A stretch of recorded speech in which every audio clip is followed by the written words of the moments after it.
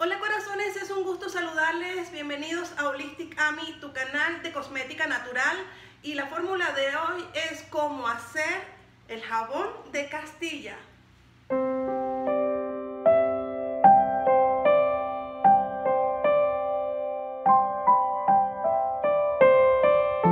Corazones, he estado muy muy emocionada de traerles y de compartir con ustedes esta fórmula, este jabón original de Castilla. Es un jabón excelente, es muy suave, es muy hidratante, es muy emoliente, que inclusive lo usan para los bebés recién nacidos. Esto quiere decir que sirve para todo tipo de piel y sobre todo para pieles sensibles. Limpia a la vez, también humecta y cuida nuestra piel. Entonces, hace tiempo que quería hacerla, sobre todo compartirla con ustedes, pero también para el uso aquí de nosotros en casa. Entonces, bueno, te voy a pasar ahora de inmediato, sin perder mucho tiempo, los ingredientes. Para nuestro jabón de Castilla vamos a utilizar o a requerir una báscula, agua destilada, el aceite de oliva mm, es de orujo, no es eh, del aceite de oliva extra virgen que comúnmente se usa. ¿Por qué de orujo? Porque se descubrió que este tipo de aceite deja el jabón eh, de Castilla un poquito más duro y no tan blando en menos tiempo. Entonces, y además que también tiene principios activos del aceite de oliva. Entonces, escojan este si es posible, si no, pues el aceite de oliva que comúnmente se usa, que es el original, pero también puede ser aceite de orujo. Yo prefiero este por la razón que les acabo de comentar. Vamos a utilizar la sosa cáustica que la tengo aquí. Esta es, es como un polvo. Es como una sal más bien. Vamos a requerir dos envases de vidrio Aquí está el pequeño donde voy a colocar el agua con la sosa cáustica. Uno más grande que es donde voy a colocar el aceite, la batidora, una paleta, un tapaboca, unos guantes y unos lentes. ¿Por qué estos tres implementos de seguridad? Porque la sosa cáustica es tóxica, así como tal, pura. Cuando se coloca en el agua, ella va a calentar demasiado y además que va a expeler un vapor y ese vapor es tóxico para los pulmones de los seres humanos, de los animales y también para los ojos. Entonces es preferible tomar estas precauciones, además de que también es muy importante que se realice este trabajo en un lugar ventilado, frente a una ventana, frente a un balcón o en un balcón o con una puerta abierta donde circule el aire para que los vapores de la sosa cáustica no se concentren y no lleguen a la persona que está manipulando estos implementos. ¿Cuánto vamos a usar? Yo en esta fórmula la voy a hacer pequeña. Voy a utilizar 260 gramos de aceite, 69 gramos de agua y 34 gramos de sosa cáustica. Bueno, vamos a pesar el agua.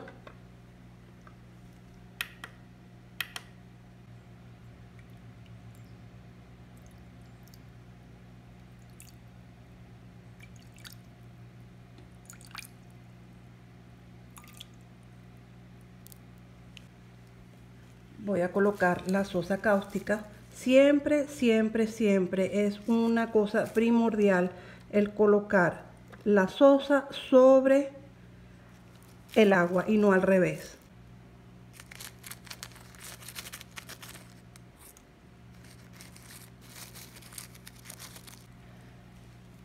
Bueno, esto vamos a esperar ahora a que se disuelva. Lo podemos hacer con la paletica.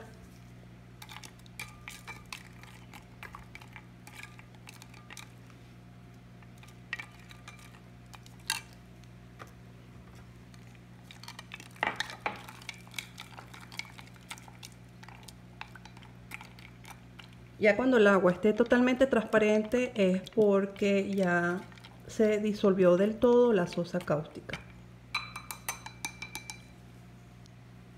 Vamos a reservar aparte. Ahora vamos a pesar los 260 gramos de aceite.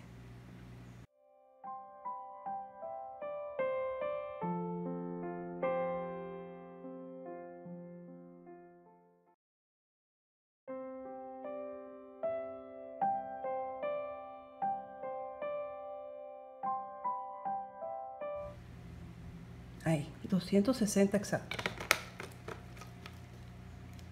Bueno, aquí tenemos nuestros dos ingredientes, o tres, pero la sosa cáustica cuando se mezcla con el agua pasa a ser lejía y ya no es sosa cáustica.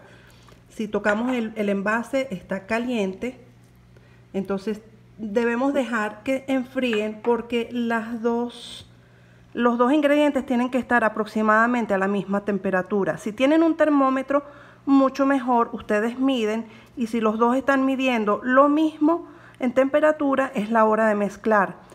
Lamentablemente no he podido conseguir en mi país el termómetro, estoy buscándolo aún, pero lo hago al, tanto por ciento, esté más o menos ya bastante tibiecita o fría.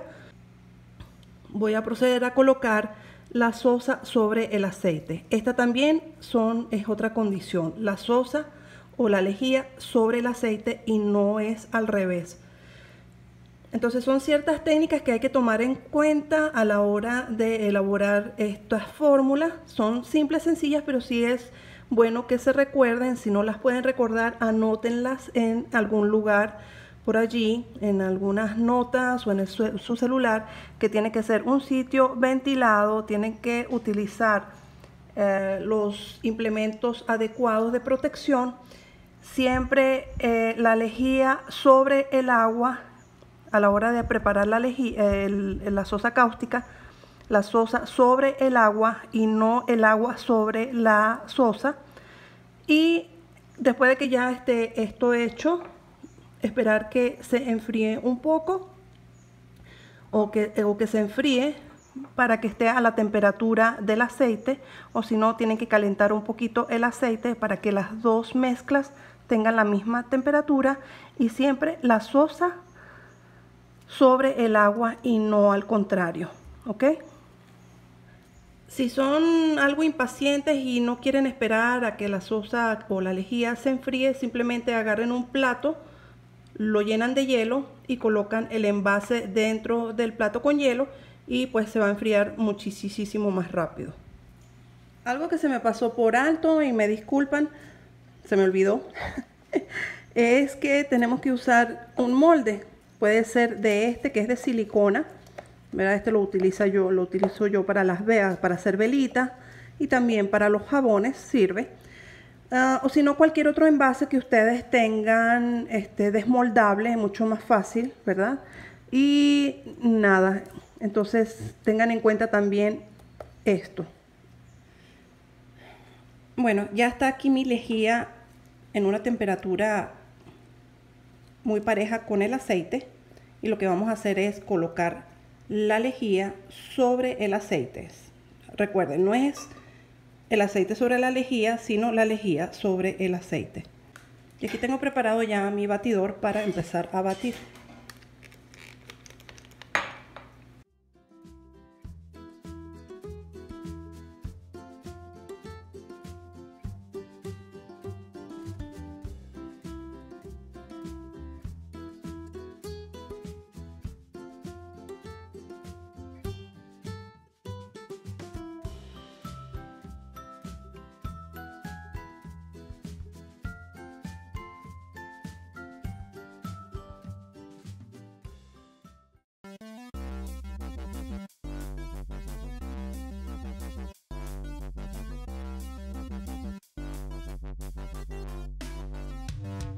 Vamos a buscar una consistencia más o menos así como de mayonesa, más o menos algo así. ¿Sí? Todavía le falta porque está como muy aguado.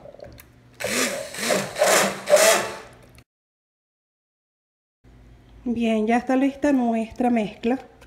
Ahora vamos a llevarla a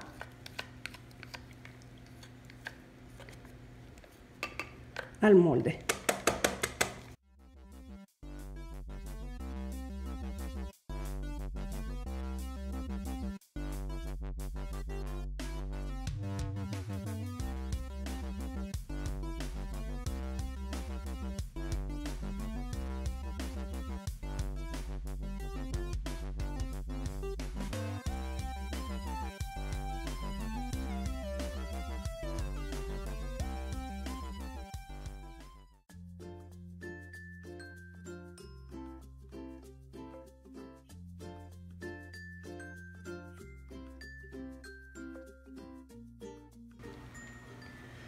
Bueno, corazones, aquí están mis pastillas ya puestas en el molde. Me salieron seis, como podrán ver. Esto, ¿qué vamos a hacer? Lo voy a tapar con algún papel film. Aquí le decimos papel celofán, que es el plástico. Luego lo voy a tapar bien con un pañito para que conserve por ciertas horas el calor, aproximadamente 24 horas. Y después de eso, pues procedemos a desmoldar y ponerlo en un lugar ventilado que le pegue el aire, no el sol, solamente la brisa, el, el, viento, poquito. Y bueno, esperaremos aproximadamente cuatro semanas para que se cure. Este tipo de jabón, el jabón de Castilla, mientras más tiempo pase en curación, más propiedades y más beneficios tiene para nuestra piel. Entonces, eh, si pueden tener paciencia hasta tres meses, cuatro meses, mejor. Pero si son como yo, que no tienen paciencia, eh, un mes o dos meses, pues ya se puede eh, empezar a usar.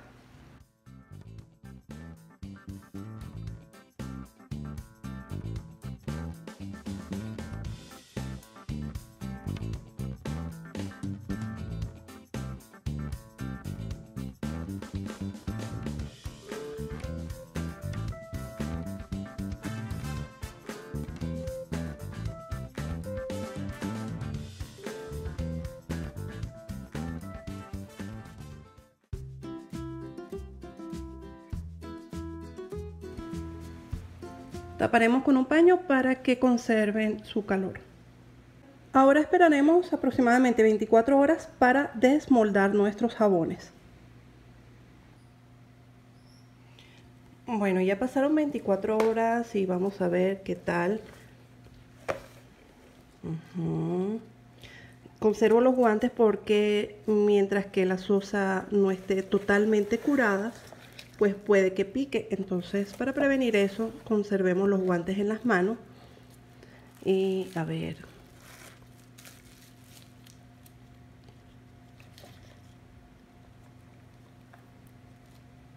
Excelente. Miren qué bello quedó. Hasta como forma de flor, porque cuando lo estaba colocando acá, traté de darle con la paleta esta forma y bueno, miren qué belleza. Aquí tengo mis seis pastillas. Los voy a colocar en un lugar ventilado que no les pegue el sol. Y aproximadamente en un par de meses ya estarán listas para ser usadas. Se pueden usar antes, pero en este caso los jabones tienen algo muy, en común con el vino, como dicen, ¿no? El vino mientras más añejo, mejor, más sabroso y más propiedades tiene. Y lo mismo pasa con los jabones.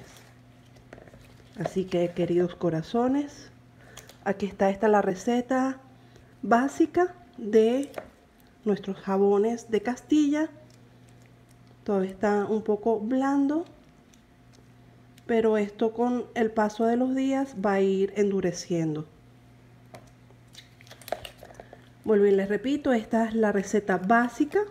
A esto ustedes le pueden añadir otras sustancias, otros aceites, otras grasas. Les pueden colocar romero, le pueden colocar eh, caléndula, mm, orégano, lo que ustedes gusten. Aquí están nuestros jaboncitos bellísimos. Esto lo voy a colocar en un lugar airado un par de meses. Si es una rejilla, mejor para que le pase el aire por debajo. Y si no, no tienen rejilla, lo colocan en algo así. Entonces al día siguiente los voltean para que les pegue el aire por este lado. Y eso es todo. Este es el jabón base del jabón de Castilla, el famoso jabón de Castilla.